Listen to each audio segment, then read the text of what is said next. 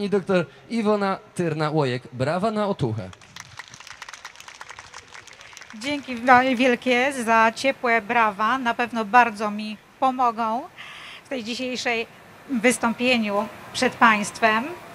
No cóż, poprawiłam sukienkę, bo skoro będziemy mówić o pierwszym wrażeniu, bliziutko, dobrze, będzie bliziutko, zgodnie z zapotrzebowaniem. Może jeszcze raz się przedstawię. Nazywam się Tyrna-Łojek, Iwona Tyrna-Łojek. Słuchajcie, zaczerpnęłam taki sposób przedstawienia się od głównego bohatera dzisiejszego filmu. Oczywiście nie brzmi to tak samo jak Bond, James Bond. Jestem dzisiaj z Wami, ponieważ podobnie jak Wy, uwielbiam filmy, kino akcji, gdzie właśnie możemy oglądać przygody agenta 007. Niezależnie od tego, jaki aktor wciela się w rolę agenta Jamesa Bonda, jedno jest pewne, że co zobaczymy?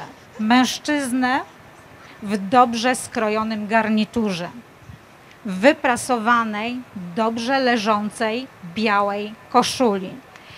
I również niezależnie od tego, ile będzie się działo, to ten styl będzie jemu towarzyszył. Dlatego też dzisiaj kilka słów chciałam powiedzieć o budowaniu wizerunku osobistego i tego, na co on wpływa, przede wszystkim na efekt pierwszego wrażenia.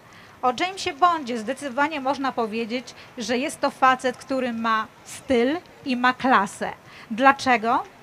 Ponieważ ubrany jest właśnie w takim stylu. Powiem Wam szczerze, że wiele lat temu, kiedy zostałam asystentką na uczelni wyższej, bardzo się z tego powodu cieszyłam. Ale przyszedł taki moment, w którym zaczęłam się bardzo stresować.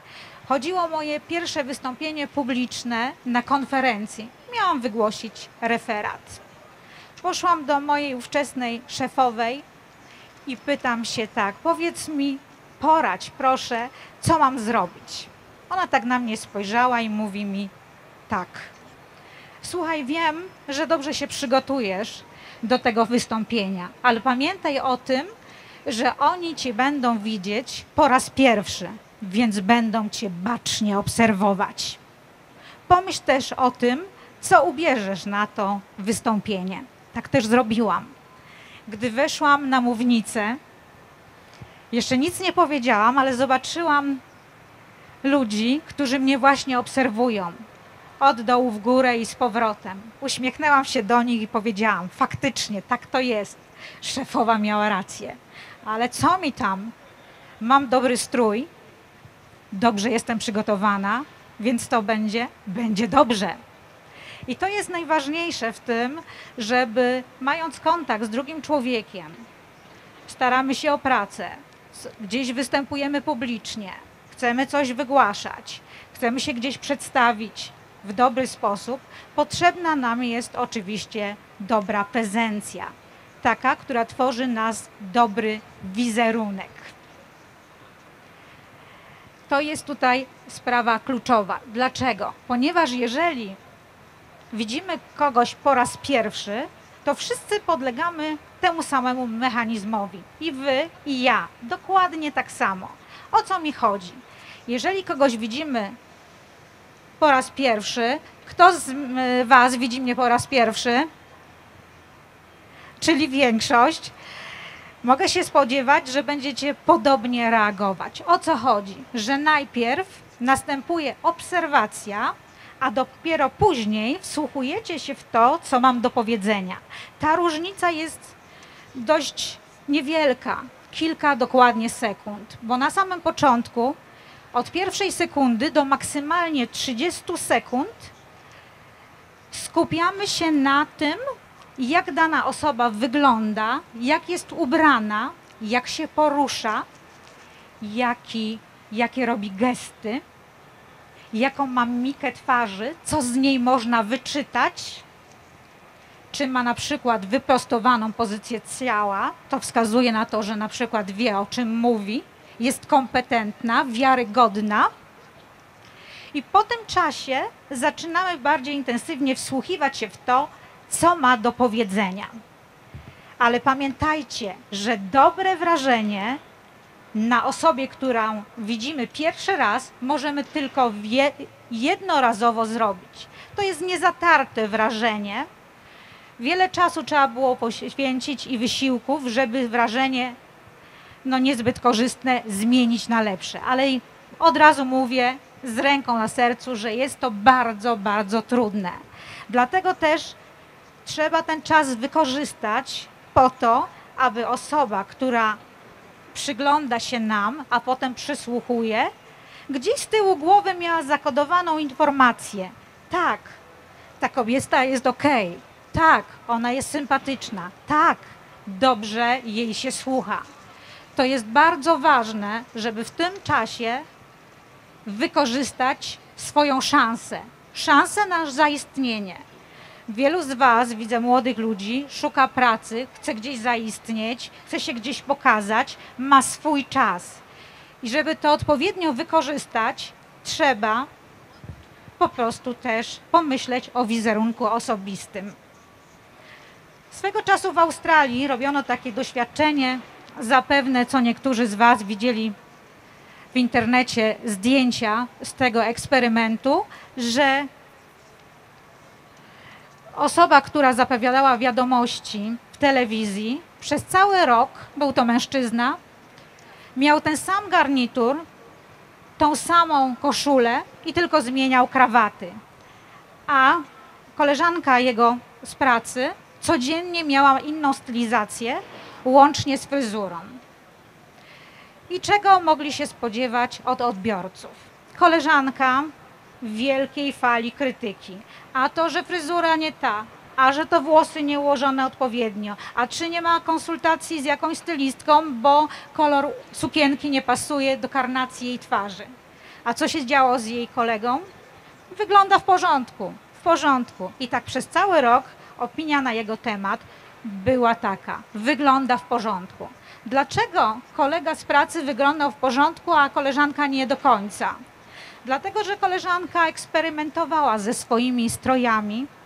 Raz wychodziło to lepiej, raz gorzej. Oczywiście nie jestem przeciwniczką eksperymentowania, tylko w zależności od sytuacji, w której ją stosujemy. Bo jeżeli chcemy naprawdę wywrzeć dobre pierwsze wrażenie, to w tym momencie nie czas na eksperymenty, tylko na czas na klasykę.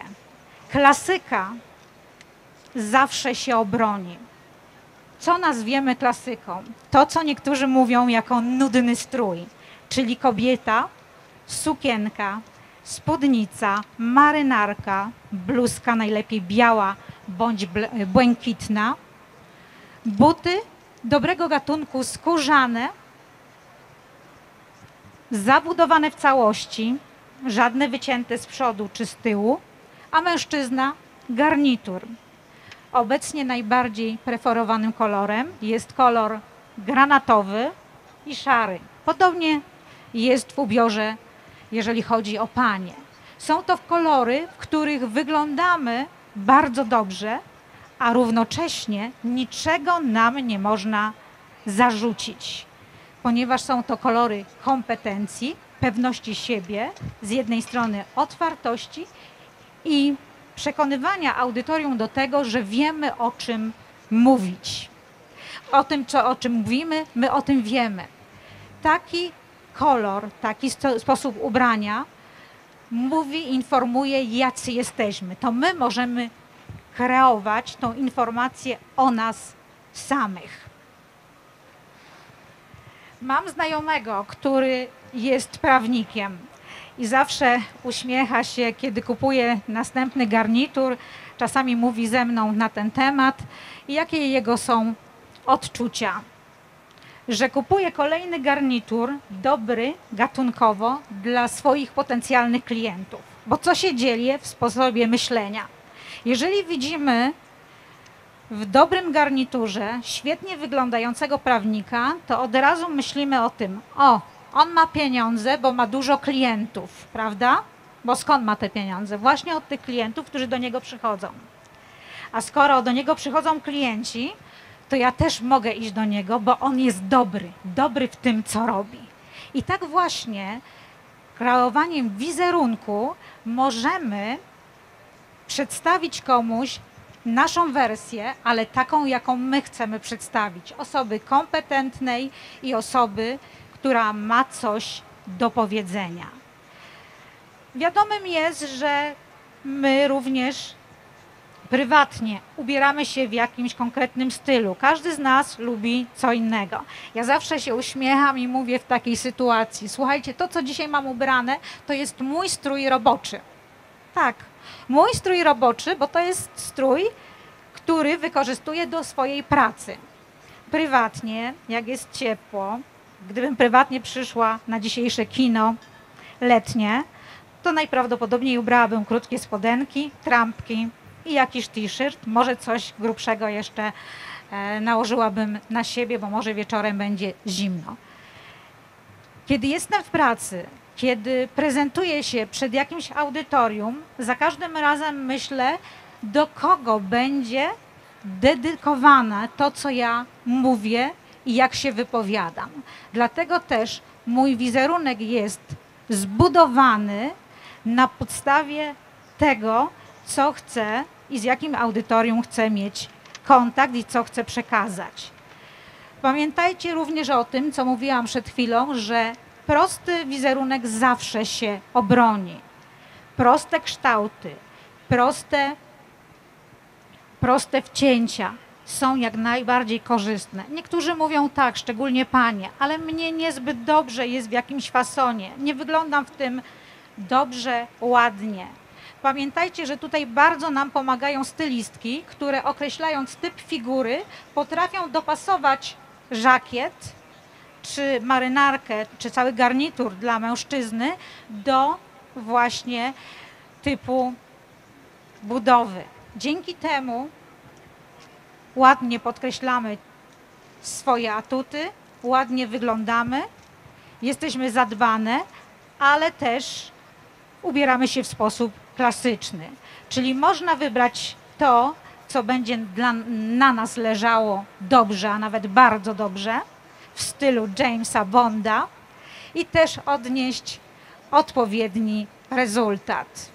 Do takiego poszukiwania najlepszej wersji siebie poprzez ubiór, ubiór w stylu klasycznym, bardzo serdecznie zapraszam, a równocześnie zapraszam Państwa na emisję filmu. Dziękuję bardzo. Do widzenia.